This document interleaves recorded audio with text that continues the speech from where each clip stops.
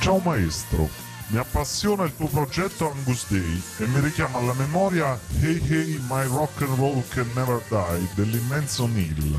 Complimentissimi per il tuo stile di vita. A proposito, ho visto Alan Sorrenti in tv. Ti ricordi Aria è come un vecchio incensiere?